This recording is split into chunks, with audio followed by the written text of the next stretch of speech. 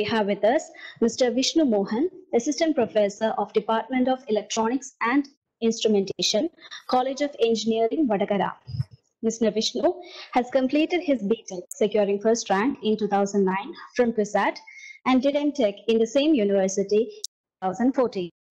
He has over 10 years of teaching experience and is a member of various organizations such as the Institute of Electrical and Electronics Engineers, Society for Technical Education, and the Instrument Society of India. Attendees, please note that you can post your questions and doubts in the Q&A box available in your screen. Your queries will be addressed by the faculty in due course. Sir, it is with great pleasure that I welcome you to the session. Over to you. Thank you. Thank you so much for this nice introduction. Uh, I want to note one more point that uh, my college, uh, my institution, College of Engineering Vadakara, which is established as the very first institution uh, in Kerala under the CAPE, the Cooper- uh, Cooperative Academy for Professional Education, uh, under established under the Ministry of Cooperation, Government of Kerala. So with this, we can start the session. So this session is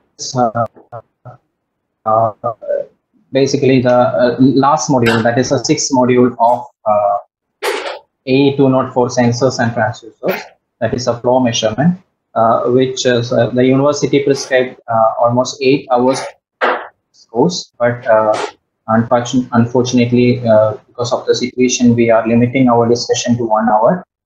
So, uh, uh, without losing the essence of the uh, things, uh, I'm delivering you in one hour and trying to deliver to you in, in one hour. So, the discussion is flow measurement. So, these are the uh, arrangement of topics which we will cover in due course. Uh, so, why we need flow measurement? What is need of uh, measure, measuring flow? So, mainly there are two situations where we need uh, measurement. Primarily, about proportion of materials introduced to a process. So uh, let's consider the, the Haber process where one molecule of nitrogen gas which combines with molecules of hydrogen gas under some conditions to form two molecules of ammonia. So uh, uh, when we add nitrogen and uh, hydrogen in 1 is to 3 combination, it will form ammonia. So the proportion of materials, the proportion of these two gases introduced into the reaction chamber uh, is very important. Also, we have to remove the product. So two molecules of ammonia is removed. So the second is uh, the, the to find out the amount of materials evolved by the process. The primary application where we need flow measurement. And secondarily, uh, as we know, uh, most of the high houses uh, may have a water connection. So in some other countries, in some other part, parts of the world, world, they have a cooking gas connection, steam connection, all things are there. So in order to find out the consumption of this, we need flow measurement. So these are the two points, two situations where uh, flow measurement is very important. So let's have some history of measurement of flow. It is one. It is considered to be one of the most uh, oldest art in the field of instrumentation.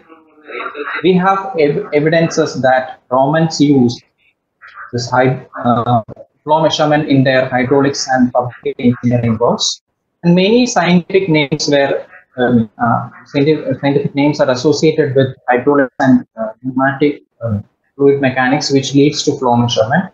And some of them are Archimedes, Torricelli, Euler, Bernoulli, Reynolds. Much more in the list. So let's uh, have some introduction of flow measurement. So flow measurement is actually finding out the flow, flow rate of either solids, liquids, or gases. this gases and liquids are collectively termed as fluids. So uh, liquid occupies same volume at different pressures and that is why liquids are collectively known as uh, liquids are otherwise called compressible fluids whereas gases occupy different volumes at different pressures and are termed as compressible fluids so there are two ways of measurement of flow one find out the volume how much volume is usually expressed in meter per meter cube per hour or liter per minute that is LPM, liter per hour that is LPH. In some other situations like we all have uh, uh, during our last two flood seasons, the water flow out, uh, amount of water flowing out of uh, Idukki Dam that is that, that is expressed in gallons. When we are expressing expressing huge units we'll say the, uh, the unit used is per hour. Then the thing is to find out the mass flow the mass flow rate which is usually expressed in tons per hour or kilogram per minute and so on so basically flow is of two types one is the laminar flow and another is the turbulent flow, which you can uh, see in the figure. So compare the laminar flow to a situation uh, students are coming to a assembly, school assembly in a uh, in by nine. So all are uh, coming in a line. That means there is a, a, a, a what you call order is there so it is highly ordered. All the uh, layers are in, in parallel.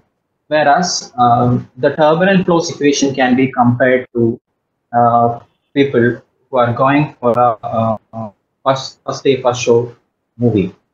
So, uh, move and there, and they are in a highly disordered state. So, in turbulence, the fluid turns chaotic. So,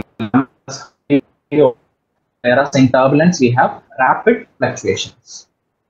Laminar flow is usually having low velocity.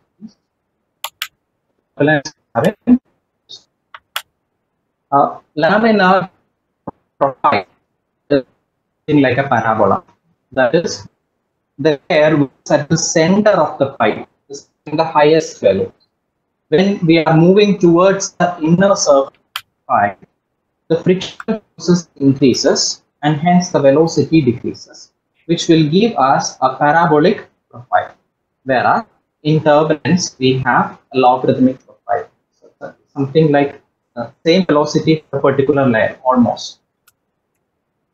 Now we will distinguish this laminar uh, by a number called Reynolds number. I'll, I'll tell you in the next slide. Reynolds, if the number less than 2200 uh, to the lamina, whereas if the flow is great, I mean, uh, number is greater than 4000, flow is uh, considered to be turbulent. Reynolds number is a ratio, is a ratio of two forces. That is the inertial force to viscous force. Since it is the ratio of two forces, it is a dimensionless yeah. parameter uh, you can see the inertial force in the numerator. So as the numerator increases, the Reynolds number increases and hence it promotes turbulent flow. And the viscous force is in the denominator. So as the denominator increases, the number decreases and hence increasing force promotes laminar flow. So this is the equation for finding out the uh, Reynolds number.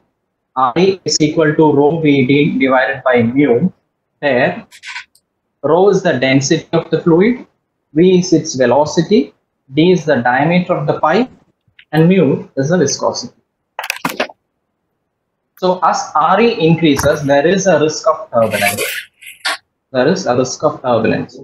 So if uh, for a particular and a for a particular pipe, density viscosity and diameter is constant, we can say that as velocity increases, difference increases.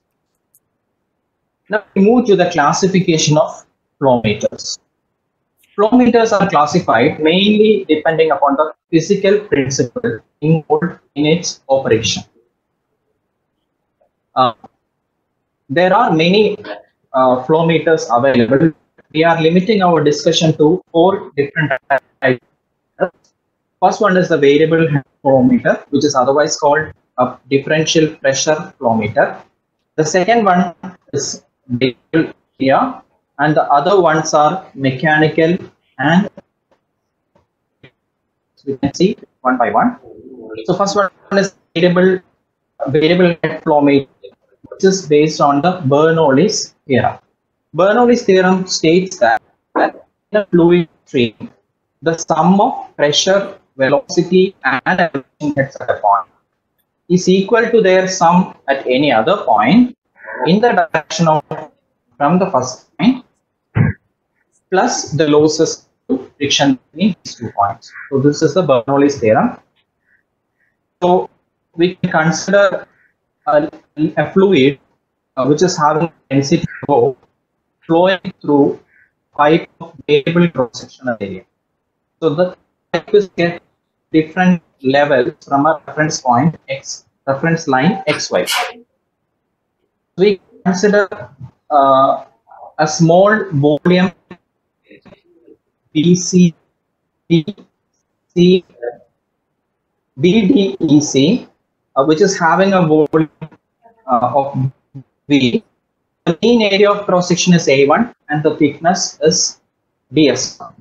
So when this volume is up, the area of cross section decreases. So, so in order to maintain the fixed volume, the, the thickness increases. So the mean area of cross section reduced to A2 an increase in thickness of ds2. So ds2 is the uh, final uh, thickness. So we are pushing this uh, volume element with a force F1 and there experiences another backward force F2. So this is the situation and uh, this fluid is uh, assumed to flow with a mean velocity V1 at section 1 and V2 at section 2 now we uh, uh, work this volume of. The work done is the uh, difference in two works at two locations. Uh, the volume the, the volume element is flowing in upward direction. Uh, the force at section one considered as force. So the equation is W, the work done W is equal to F1 ds. Nothing but force into displacement minus F2 ds. So this F1 can be written as force can be rewritten as pressure into area. So if P1 is the pressure at location 1 and P2 is the pressure at section 2, we can rewrite the equation as P1 A1 ds1 minus P2 A2 ds2. As we know, area into thickness is the volume. So A a1 ds1 is the volume element at first location. A2 ds2 is the volume element at the second location. So we can read that V1 V1 minus V2 V2. We know this one and V1 and V2, the, the volume elements are same. So we can replace it with single value V. So the final equation will become W is equal to V1 plus V2 into V so next we'll uh, look at the change in kinetic energy.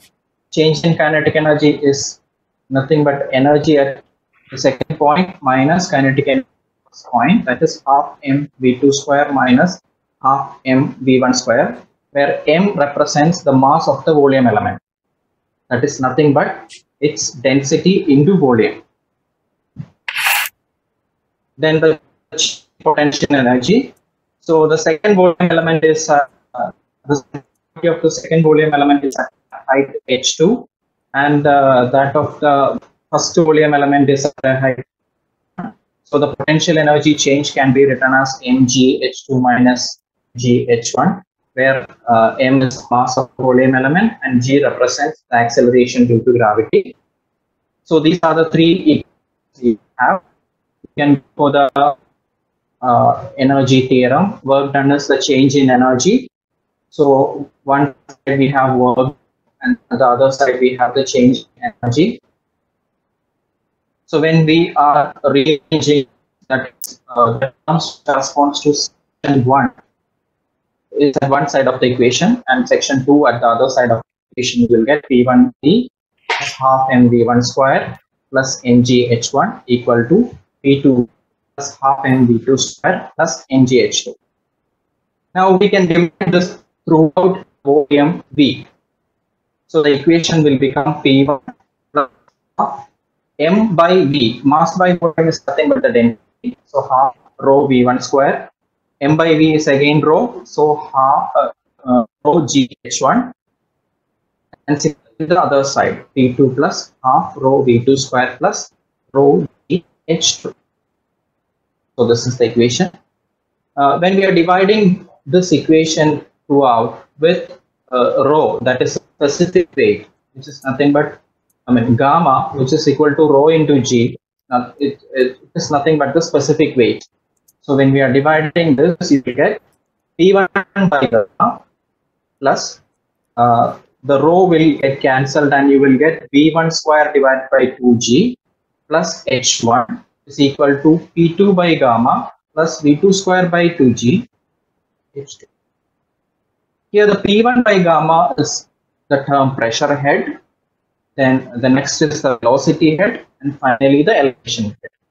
So this is the uh, derivation of a Bernoulli's theorem. That is the pressure head, velocity and elevation head at section 1 is equal to the sum at section 2. Here the point which lacks is the friction. So we assume that this is a frictionless setup. So uh, that is how we can derive uh, a frictionless uh, Bernoulli's equation for a frictionless incompressible fluid. Now, if the flow is continuous, continuity equation can be applied, and this is the continuity equation. That is, the area into velocity at any point is equal to a constant. That is, area into velocity equal to at one point equal to area into velocity at some point. This you may experience with the uh, garden hose. When we are writing the area of garden hose, uh, the velocity increases and the liquid will, water will flow uh, with high velocity. So that is the continuity equation. And QE is nothing but the volume that well velocity into area. Area is usually expressed in meter square. Velocity is in meter per second. So you will get meter cube per second, which is nothing but the volume flow rate. So uh, V1 can be written as A2 by A1 into V2. If D1 and D2 are the diameters of the two sections, we can uh, say A1 by by A1 is D2 square divided by pi by 4 D1 or D2 by D1 the whole square. Here D2 is the restricted area and D1 is the original area. So D2 by D1 is uh, termed as beta. So the entire thing A2 by A1 will become beta square. So B will become beta square D2. That's this equation. So we have the uh, equation we derived from the Bernoulli's theorem P1 by gamma plus all the heads at one point equal to all the heads at the other point. When we are this to make V2 square by V1 square, both of the terms is having a denominator 2g. Uh, when it goes to the other side, it will come in the numerator. So P2 by gamma minus P1 by gamma plus H2 minus H1. So when we are replacing V1 square with beta square V, the equation will become V2 square into 1 minus beta raised to 4 equal to the other side of the equation. So that is this equation. Uh, when you are finding out an equation for V2, uh, it will become 1 by root of 1 minus beta raised to 4 root of the entire thing. So QV is equal to A2 into V2. We have uh, uh, arrived at V2. So when you are multiplying this with area, you will get the flow rate, metric flow rate. So this is the volumetric flow rate where this 1 by root of 1 minus beta raised to 4 is termed as the velocity approach factor E. Now, so far we have not considered the friction and contraction. About contraction, I will tell you uh, something later. Uh, but here, so far, we have uh, not considered the friction and contraction. So this can be uh, included, this can be compensated with a coefficient called discharge coefficient C. So when you're, uh, the, the first equation which we see is a theoretical one. But for practical approaches, approaches we have to have a coefficient called discharge coefficient. So when we are uh, including that, that coefficient to the equation, you will get the final equation QV equal to C8E into root of uh, all the other things. So the C is the discharge coefficient, E E factor, and A2 is the uh, restricted area. So this is the equation. Okay, so if we kept uh, these two points, two sections at same elevation, the difference H2 minus H1 is will become zero. So we can neglect that part. We can uh, remove that part. So the equation will become QV equal to C A to E root of 2G by gamma P2 minus P1. That means uh, the all the other parameters except P2 is constant. That is QV can be uh, QV can be considered as uh, proportional to the square root of the difference. Now, this is the theory behind variable head flow meter. Then we move to the uh, flow meter which we use practical situation. The first one is an orifice plate. This is the figure. Uh, It is a simple uh, plate of metal with a circular opening. Uh, depending upon the position and shape of this opening, uh, we can have three different configurations. First one is the concentric. Why I've put it in red is uh, our, our area of discussion is limited to concentric. So eccentric, that is the opening is more close to the bottom side of the pipe. In the previous slide, you can see this is the orifice plate. We have a hole inside and we have a tongue. This tongue is for identifying the position of the hole. Uh, if it is eccentric, so this is eccentric. We have a solid segment and an open part. Then this is segmented. These are the three different uh, combinations. Segmented means uh, it is a semicircular shape and it is more close to, towards the um, bottom side of the pipe. This eccentric and segmented uh, orifice plates are used for situations where the fluid is having some, some particles, uh, some colloidal particles. Now, as the flow velocity increases, flow velocity increases means the velocity head increases. Uh, we are keeping the ele- elevation head constant. So, in order to maintain, in order to stick on to the Bernoulli's principle, the pressure has come down. Now, this is so. This is the orifice plate. You can see this is the orifice plate. So, the pressure profile we are. Uh, we, we have actually 12 different uh, sense points where we will sense pressure. So this is the first uh, section. Uh, that is the fluid approaches the orifice. So uh, up to two, there is a constant pressure. That is the pressure of the fluid. Then uh, further it proceeds. Three, two, three, and four. There is a slight increase in pressure. That means the volume is, I mean, uh, velocity is slightly reduced. So that is why there is a slight increase in pressure. And at the orifice, what happens is the jet the is at high velocity. So at high velocity means the pressure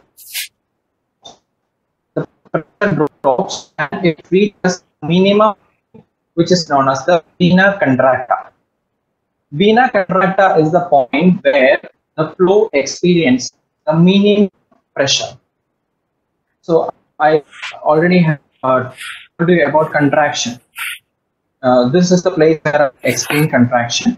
When orifice it leaves the orifice, it is having some inertia, and for some point it experiences uh, that that contraction, that um, what do you call the decrease in area.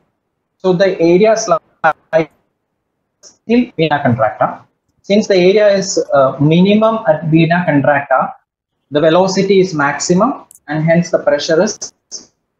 So from the vena contracta, it starts its recovery, pressure recovery.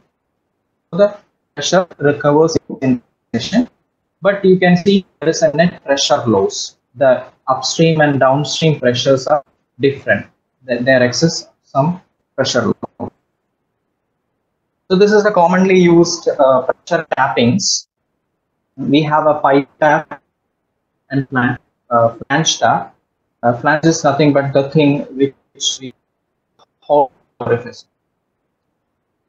So pipe tap, pipe tap, uh, we usually take uh, the upstream tapping at a distance of D. D is nothing but the pipe diameter uh, from the orifice and downstream D by 2. So this is the commonly used uh, setup. Uh, but in some cases, it may uh, uh, adversely affect the discharge coefficient. The discharge coefficient may vary.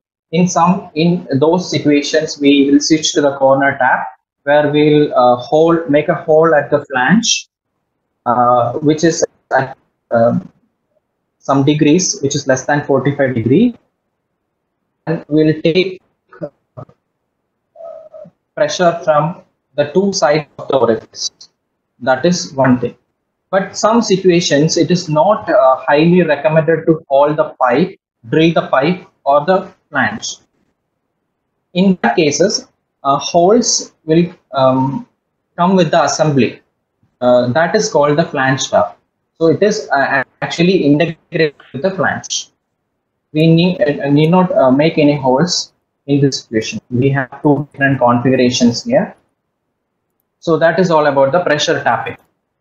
Then we can see some uh, thing about the construction of uh, orifice plate. Uh, usually we use a stainless steel SS or gunmetal or bronze for um, manufacturing of orifice plate, which uh, may vary depending upon the application. Uh, and thickness of the orifice plate is very important. Uh, usually 1.5 millimeter thickness is pipe uh, less than 15 centimeter, that is 6 inch uh, diameter. And more than, uh, if the pipe diameter is more than 6 inch, we will go for 3 mm. Then edges, edges, upstream edges are made flat, whereas the down edges when the downstream edges are flat, what what happens uh, when the fluid leaves the orifice? If there is any suspended particles, it will uh, make some um, tear or whatever at the uh, at that at, at that line. So that is why the downstream bigger. Then we will put some drain holes. That is, if are using liquids, there may be some uh, the, some diffuse gases in it. So in order, uh, to provide a path for the gas, we'll uh, put a drain hole at top of the um, top side of the pipe. And for gases, we'll, uh, it may have some uh, suspended uh, water molecules or gases, liquids. So we'll put, put a hole at the bottom side. So the merits and demerits of the orifice plate. It is very simple in construction. You can see it's a simple plate with a, a circular hole uh, and its reliability is high. uh, when we are talking about the demerits, it is so we have to uh, do some compensation for that use. So additional compensating compensations uh, needed. Uh, this wear and tear causes uh, calibration changes. So that is one of the disadvantages. High pressure loss is there. Upstream pressure and uh, downstream pressure are different. There is high pressure loss. Uh, this uh, is due to the abrupt change in area. So the change in area is sudden. And it is not used with uh, very high fluid densities. Uh, and so also uh, some particles may block tapping, the, the upstream and downstream tapping, which used for uh, finding out the P2 pressures. This block tapping may, may demand frequent maintenance. So this abrupt change in area is the main difficulty of using orifice plate, which which uh, leads to the high pressure loss. So do you have any other advice with uh, change in area, gradual change in area, that will be better. And that is the flow nozzle. So in flow nozzle, we have gradual increase of cross section. You can see the area is decreasing and this segment uh, can be considered as uh, one fourth part of an ellipse. So we have different flow nozzles with uh, different eccentricity of the area. So this is one of the things. Now, the flow nozzle is actually similar to orifice in simplicity, but uh, differ in down. So the pressure, um, pressure loss pressure loss is comparatively less uh, in uh, flow nozzle when we are comparing that with orifice. Uh, this curved form of approach uh, colloids to pass through. The performance is uh, better at velocities, but the difficulty is uh, here we lack an expansion cone. So downstream we doesn't have we don't have any expansion cone. So that is one of the flow uh, difficulty of flow nozzle and this leads to the evolution of Venturi tube. Uh, it is uh, usually made by uh, uh, same materials as we have seen in orifice plate, metal, steel, cast iron, all these things are used for manufacturing this tube. Mainly there are three sections. One is the converging cone, which is the decrease in area of cross section then there is a throat, cylindrical throat, where we have a constant area of cross section. And there is a diverging recovery cone. The recovery cone is actually meant for the pressure recovery. So that is in order to minimize, in order to nullify the pressure drop across the device. So the tapping points are marked here, the upstream tap and downstream tap. Upstream tap is at the uh, starting point of the uh, converging cone and the downstream is at the at the throat. So we can you, you can see some uh, holes, but annular chambers. That is uh, around the circumference we have uh, some holes. These holes are uh, meant to average the pressure, pressure at that particular point, transmission to the measurement system. So uh, it is noted that the discharge coefficient is all, almost about 0.99. That is, it is approximately equal to 1. That means the friction and contraction effects are minimum in this Venturi. And the discharge coefficient is constant for beta. Uh, beta is nothing but the diameter ratio for 0.25 to 0.75. That is the diameter of the pipe and ratio of the diameter of uh, the restriction and the diameter of the pipe. Uh, the cross section need not be circular. You can have a, a rectangular cross section or you can have a square cross section. So the cross section need not be a factor in uh, Venturi tube. Uh, it is resistant to abrasion uh, demerits are large dimension is uh, not feasible Why? Because the cost will become high for, uh, for the manufacturing of this device and is used when orifice plate cannot be used. So if we can have orifice plate for this particular application, we will go for orifice plate. If orifice plate cannot be used for the application, then we will go for the other two, that is the uh, flow nozzle and the venturi tube. So this is an evolution from orifice to flow nozzle to venturi tube. Next, we'll see the variable area flow meter. Now we have equation which we have derived in case of uh, variable head flow meter that is flow rate is equal to C discharge coefficient A area of cross section E velocity approach factor into root G by pressure. Now if you are keeping the pressure difference constant what will happen? G is a constant, gamma is constant, E is constant and C is constant. The only thing which we can vary is A2. So if you are the pressure difference constant, the, the flow rate will become uh, proportional to infinite proportional to A2. That is of. That is why the name variable area it is otherwise called variable aperture meter or constant pressure drop meter or rotameter. Rotameter is just a brand name for this.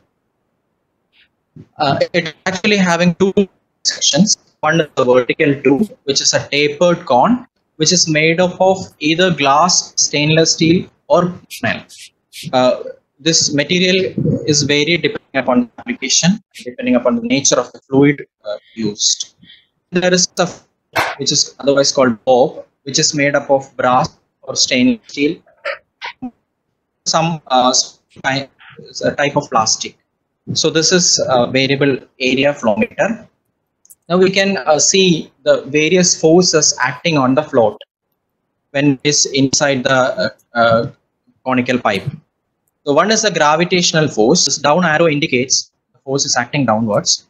So the gravitational force is equal to Vf rho f g, where Vf is the volume of the float, rho f density of the float, and g acceleration due to gravity. That is one force.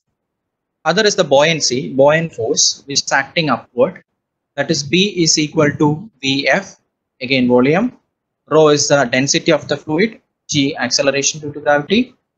Drag force, uh, which is the force uh, by the velocity of the fluid flowing up. So the drag force is also in upward direction, which is proportional to the square of velocity. It is half k af rho v square. K is a constant that we'll see later. AF is the area of the float. Rho uh, v is the velocity of the float. Rho is the density that we already have seen. So these are the three equations.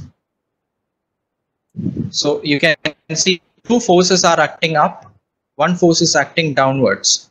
So in order to balance the float at a particular position, so that is why W is equal to B plus D. I'll uh, put, uh, substitute the values. So from this we'll uh, formulate an equation for V square. So in order to find out equation for V square, uh, uh, VF rho G in the right hand side should go to the left. So this will become VFG into rho F minus rho. And the thing which we lack is uh, the, the, the, terms which is with uh, V square. So this is 2 by K AF rho. So this is the equation. When you're taking the square root, you will get this equation. And on uh, taking this K outside, come 1 by root K, root of 2G VF by AF rho F by rho S. I've just rearranged the equation. So here I'm uh, substituting root k as CD, where CD is the drag coefficient. It, it is a coefficient responsible, uh, uh, you can see in, in the drag force. So that is the drag coefficient. So when I'm replacing that here, you will get 1 by CD root of 2G F by AF uh, rho F by rho minus 1. So this is the equation. And this is actually an activity for the students. Uh, if the flow rate flow, rate to be um, independent of the density variations. What we'll do uh, the partial derivative of QE. When we are taking the partial derivative of QV with respect to uh, the density uh, rho and equate that to zero, you will get the condition for minimum, minimum change of QV. And the condition uh, after uh, uh, all the rearrangements, you will get rho f is equal to 2 rho. That is, the density of the float must be twice that of the fluid. So if you are using, uh, if you are implementing like this, the uh, flow rate will be uh, minimally affected by the density variations that you can do on your own. So the conclusion of rotameter, it is a very inexpensive uh, device. It is usually uh, used for laboratory testing or production lines. Uh, here we have uh, maintained the pressure difference a constant it can be extended up to ranges uh, 6000 liter per minute uh, also we have other configurations which can which we can use for uh, an, a, a range expansion. Uh, if the pipe diameter is very high we can have some bypass lines and uh, put this uh, rotameter in it. So we can extend the range. If you are using it in the main line the range is up to 6000 lpm accuracy is uh, uh, 0.5 to 3 percentage of full scale. And it can also be integrated with alarms indicators controllers and recorders. uh, in in this slide we can see the I mean, um, the rotameter. Uh, if tapered uh, cone a tapered pipe is not glass you cannot see the float. In in uh, that situation what we use is we have some magnetic linkage arrangement which will uh, exactly determine the position of the float and calculate accordingly. So then next is the mechanical flow meter where the flow induces some motion. Uh, this uh, flow rate can be find out by measuring the magnetic motion. Uh, mainly there are two popular combinations.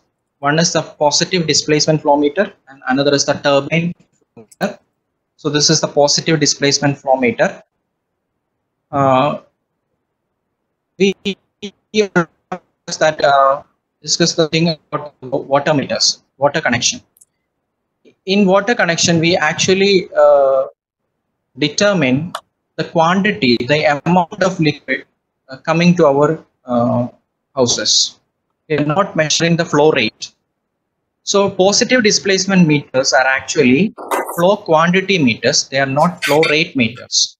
They will find out the exact quantity of water or liquid flow, fluid flow. It can be seen also in uh, petrol pumps or in uh, any other uh, thing where we uh, calculate the consumption, the overall consumption. So positive displacement uh, flow meter is that category belongs to that category. Uh, it actually constrains the flow and it prevents leakage from uh, the uh, upstream to downstream. It is a self-power device. Uh, we can uh, drive some mechanical counters using this.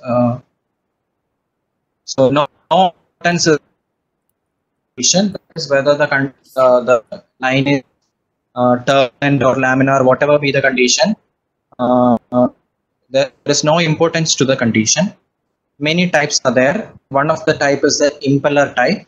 Depending upon the size, size, shape, the working principle, the many types are there. So we can see impeller type meter. We can see uh, uh, two two impellers.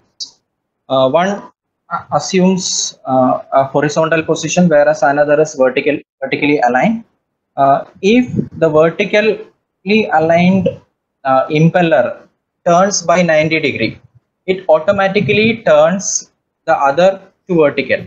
So uh, in the first case it is in the form of a t english alphabet t. Now it is in the form of an inverted t. So if uh, uh, when this moves by uh, an angle, amount of uh, fluid is taken inlet and pass to the outlet. So finding out the rotation, revolution of the count, I mean impeller, you can exactly find out the um, flow in quantity tra transferred from inlet to outlet. So that is the uh, impeller flow meter. It is having long life, uh, frictional losses are less, but having uh, some high cost, high pressure drop is there. So if you have uh, any situations where high pressure loss, pressure drop is not acceptable, you cannot use this device. And, and clean. If the fluid is uh, not clean, what happens is it will uh, it will coagulate coagulation uh, meter. So that is all about positive displacement flow meter. We'll move to the next, the turbine flow meter. This is the uh, figure which represents the uh, turbine flow meter. Uh, you can see a turbine uh, which is connected to an. Uh, then at the rim, you can have a, you can see then uh, at one side of the pipe, at the upper side of the pipe, you can have a coil uh, which is connected to the data domain. So when fluid flows through the pipe, it rotates the turbine wheel. So at steady state, uh, the speed, I mean the, the angular velocity of rotation is proportional to the flow rate. The turbine induces potential difference the turbine spins, uh, the magnet, uh, the, the uh, and the magnet arrangement. So uh, there is some uh, cut in um, magnetic flux link linkage. So it induces some potential difference. So we have two different types. One is the frequency and other is the total number of pulses. The frequency will give you an insight to the uh, flow rate, whereas the number of pulses, the total number of pulses will give you the total uh, amount of uh, fluid flow.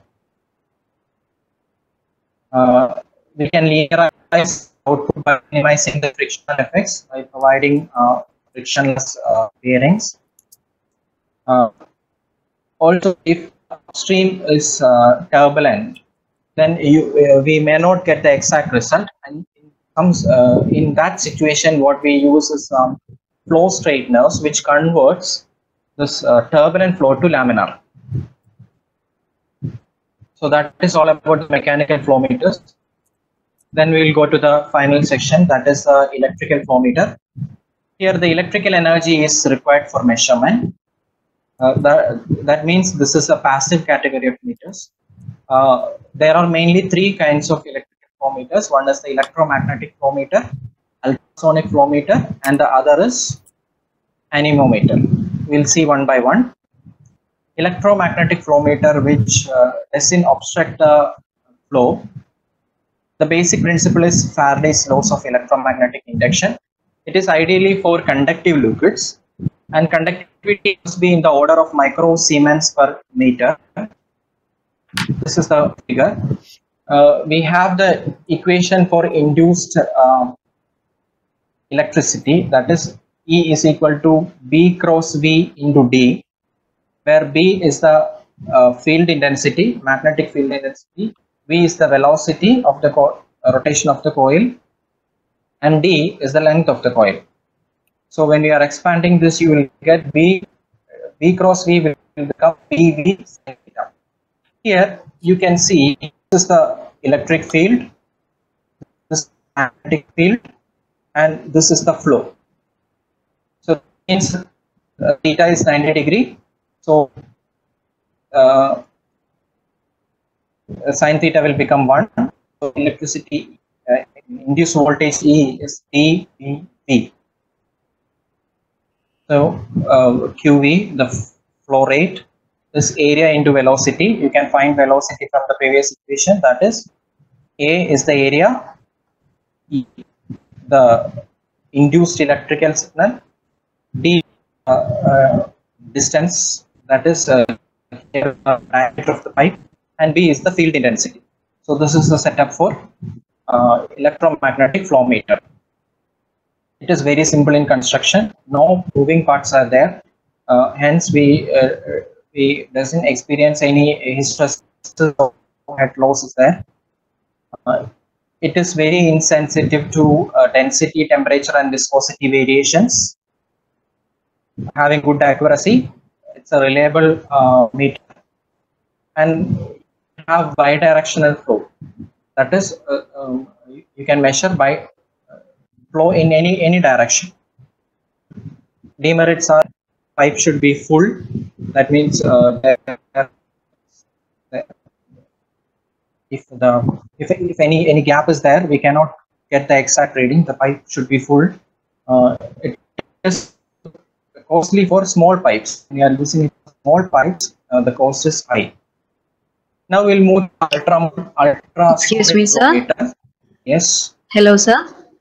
Okay, uh, Yeah. so we have reached the final 10 minutes of our session. Uh, we have some questions. Can we address that now? Yeah. Sure. Okay, uh, sir, Anushmaya Anu has asked, what is uh, concentric and eccentric? Concentric and eccentric. Concentric means the circular hole is at the center.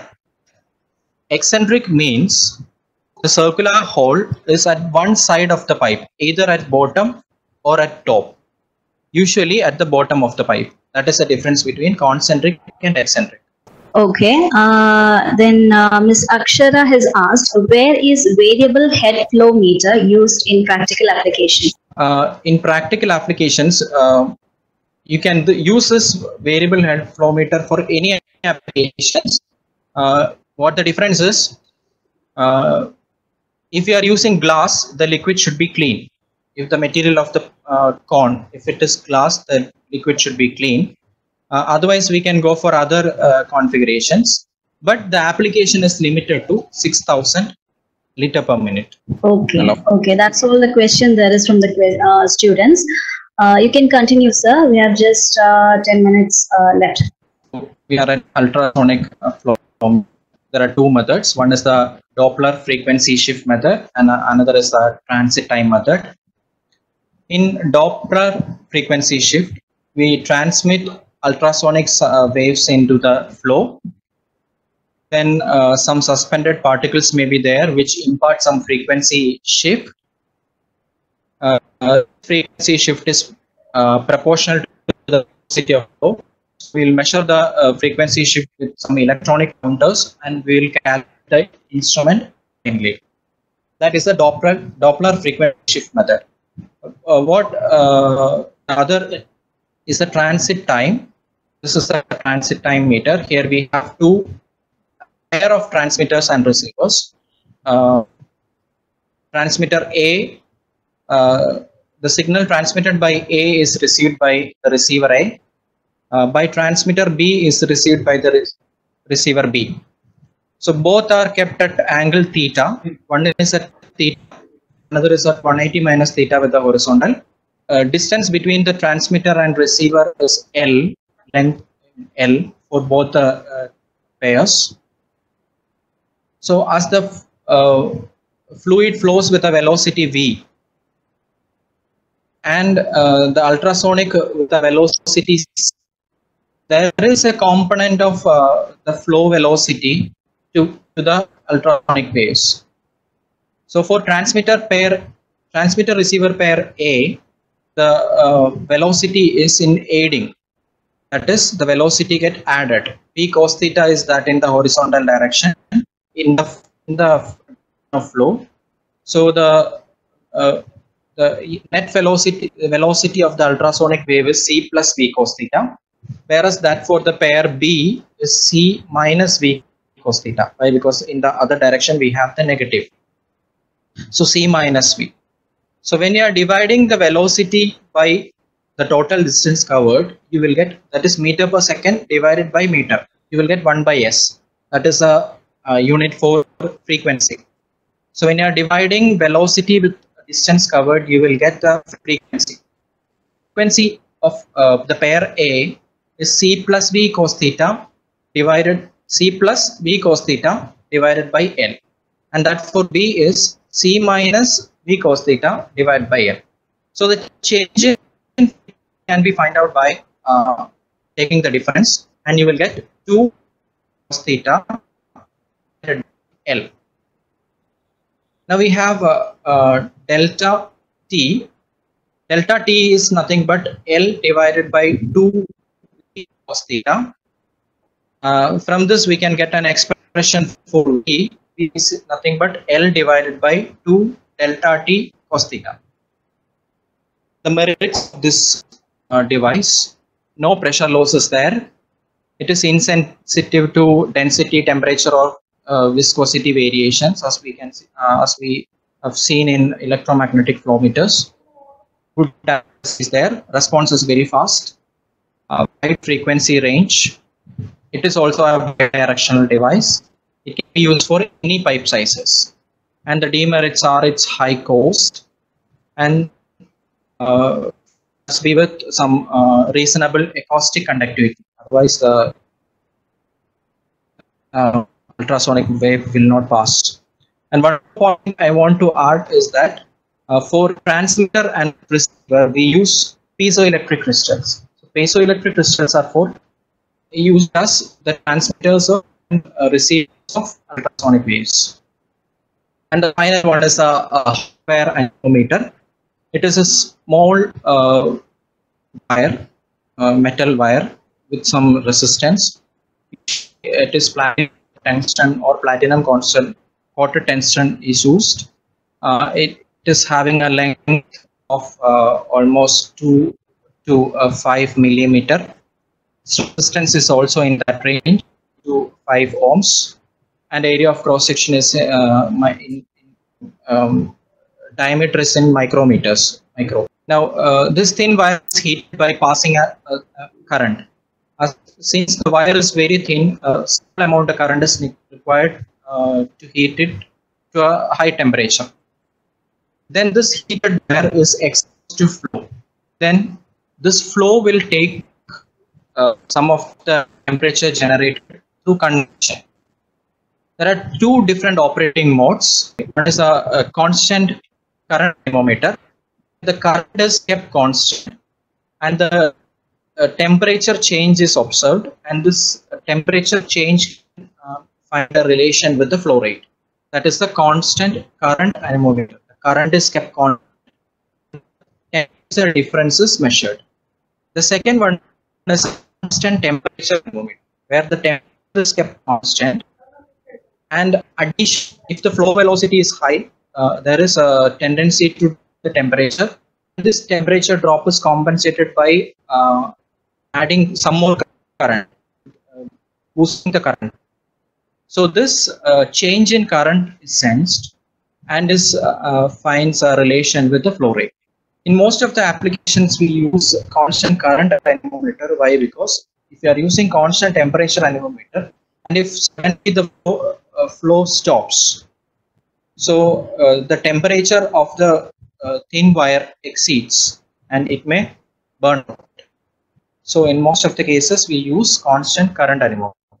In some other cases instead of using this hot wire we use some hot film of metal. So that is a that is one of the modifications of hot wire anemometer. You can post your questions now. And one more clarification I, I want to uh, give for the student who asked about the a vertically mounted meter. If your pipe is horizontal, you cannot uh, uh, introduce this rotameter. So what you have to do is you can you, you have to put some vertical section and you have to incorporate uh, this rotameter. That is one of the difficulty of using rotameter in some situations. But uh, we are using rotameters in along with some other meters. So with this, we are I'm winding up the session for today. Uh, you can pose your Okay, questions. uh, Thank you. Sir, uh, we have a question from Akshara again. Uh, where is uh, hot wire anemometer used? Hot wire anemometer is also can be used for situations uh, where it, it is mostly used for uh, uh, gases. So it is um, mostly used for gases and you can use it for non-conductive fluids also. Eh, that is the application of hot wire anemometer. Okay, uh, sir. Uh, so we have uh, uh, reached our time. Uh, thank you so much uh, for the informative session. Uh, I hope it was uh, really interesting for the st- students as well. And uh, we are looking forward uh, for your uh, further classes. Thank you, sir. Thank you for the time. Thank you. Okay. Thank you so much for the ASAP team, uh, Government of Kerala, and uh, many many of my friends, my uh, uh, teachers, helped me in uh, conducting this session. So I I find uh, this as a great opportunity. So thank you so much for this. Thank you. Thank you, sir. Thank you. Have a good day.